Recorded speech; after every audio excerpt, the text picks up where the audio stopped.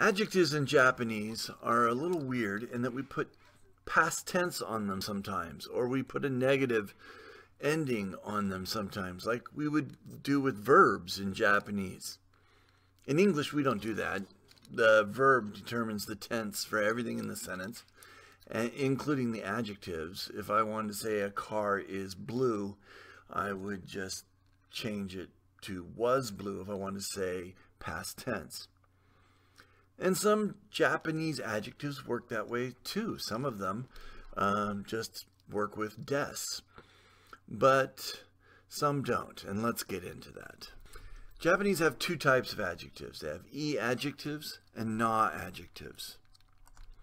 So to determine what an e adjective is, is not very difficult. Aoi, samui, 暑い、暖かい、涼しい、赤い. As you can see, they all end with an E sound from right to left. Blue, cold, hot, warm, cool, and red, they all end with E. So they're E adjectives.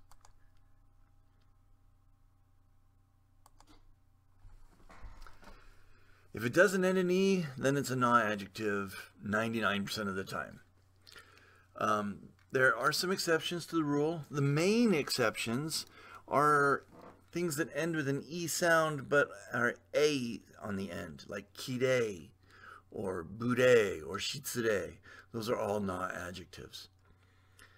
Very few na adjectives actually end with na. We identified the E adjectives by looking at the end of the adjective, but with na, it's the particle that goes in between the adjective and a noun. For example, if I wanted to say the quiet child, I would say shizuka na ko. Shizuka meaning quiet, na on the particle, and ko being the noun. So let's go back to E adjectives here for a little bit. They have a box, just like we have with some verbs.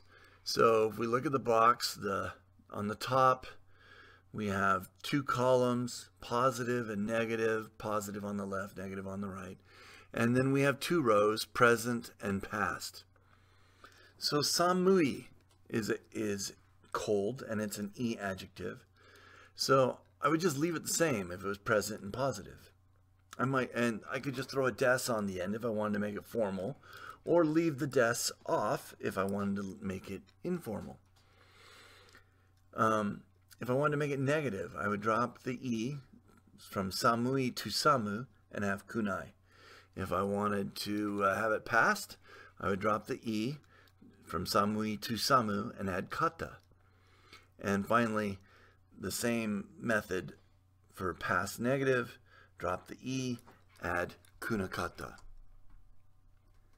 So, we have hot, atsui. We want to say it's hot, we just say atsui. If we want to say it's not hot, we drop that E and it becomes atsukunai. If we want to say it was hot, we drop the E and it becomes atsukata. If we want to say it wasn't hot, we drop the E and it becomes atsukunakata. So let's practice that.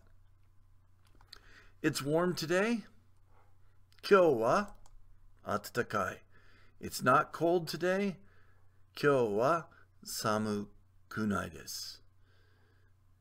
It was cool yesterday. Kino wa suzush kun, uh, kata. Suzushi kata. And finally, if we say it wasn't hot yesterday,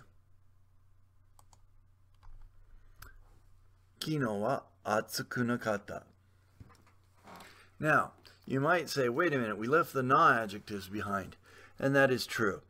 Because with na adjectives, all we're going to do is change the des. So, deshita for past, janai for negative, or ja arimasen, or jan, uh, janakata, or ja arimasen deshita for the past negative.